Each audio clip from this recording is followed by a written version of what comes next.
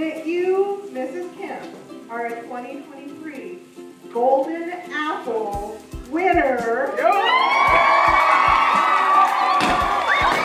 First and foremost would be deep faith, and because I, everything I do, I rely on Jesus and His guidance. So that would be the first and foremost. Um, always willing to learn new things. I've been doing it a really long time, but I try to change things up a little bit every year. So I'm not teaching exactly the same way and exactly the same things each year. Um, I try to do it in a different way.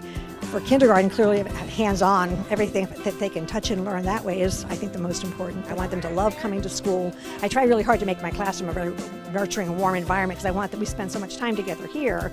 So I want it to be like a home away from home.